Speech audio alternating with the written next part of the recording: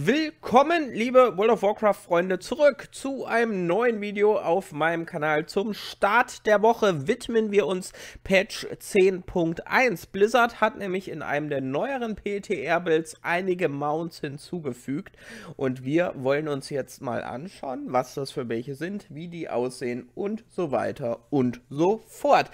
Schreibt am Ende gerne mal in die Kommentare, welches Mount euch am besten gefällt und wir starten direkt rein mit einer Schnecki.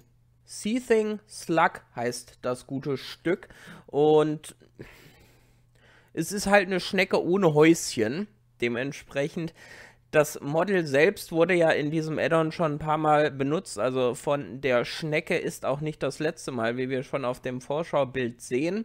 Ich muss tatsächlich sagen, wenn ich das so sagen darf, an und für sich gefallen mir die Schneckenmounts ziemlich gut, aber in letzter Zeit wird es ein bisschen overused, da wir das ja auch schon hatten in dem äh, Patch mit dem Mausoleum der Ersten und so weiter und so fort.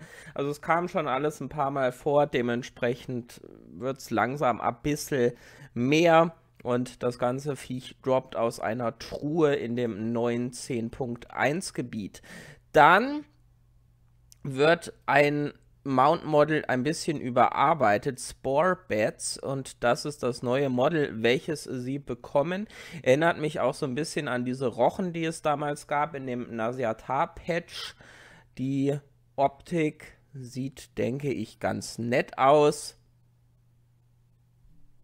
Muss jeder für sich selber entscheiden, was er zu dem Mount sagt. Das könnt ihr aber gezielt farmen auf jeden Fall.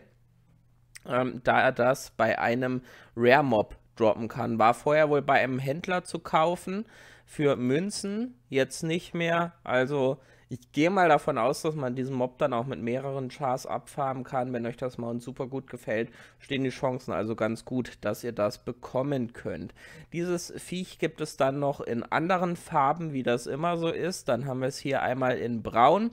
Das kann man dann ähm, bei einem Händler kaufen und auch diesen Morsel Sniffer ebenfalls für 800 Vorräte der Dracheninseln. Also das ist solltet ihr noch auf Tasche haben. Wenn nicht, könnt ihr das ja schon mal vorher anfangen zu farmen, damit ihr auch ganz sicher das Mount kaufen könnt. Also das ist ganz gut. Hier dieses Mount ist letzten Endes nur in Anführungszeichen eine Erscheinungsform, eine Vorlage für euren neuen Drachen. In Patch 10.1 gibt es den Slither Drake zu holen. Das ist das gute Stück, was wir hier sehen. Und den könnt ihr dann mit dem entsprechenden Erfolg in eine Gladiator-Rüstung packen. Sehr langer Schwanz.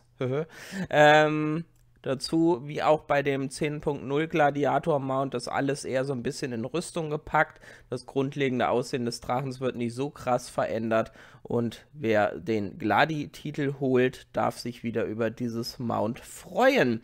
Ebenso gibt es eine saisonale Belohnung für alle Leute, die Arena und Rated Battlegrounds spielen. Mal wieder eine Schnecke, wo wir beim Thema wären. Diesmal allerdings in feine Rüstung gehüllt, mit Häuschen und sogar mit einer Fahne und Goldkettchen dran. Wunder, wunderschön. Also glaube ich das Äquivalent zum Fuchsschwanz so ein bisschen.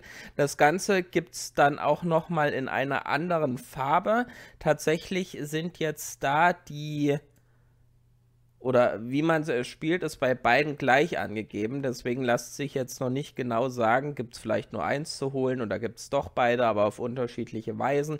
Tatsächlich gefällt mir persönlich die Farbvariante von dem Ding ein bisschen besser, aber Geschmäcker sind ja bekanntlich verschieden. Also alles in allem zwei PvP-Mounts, eine Drachenreitenvorlage, eine Schnecki und drei Spore-Bettrochen oder so.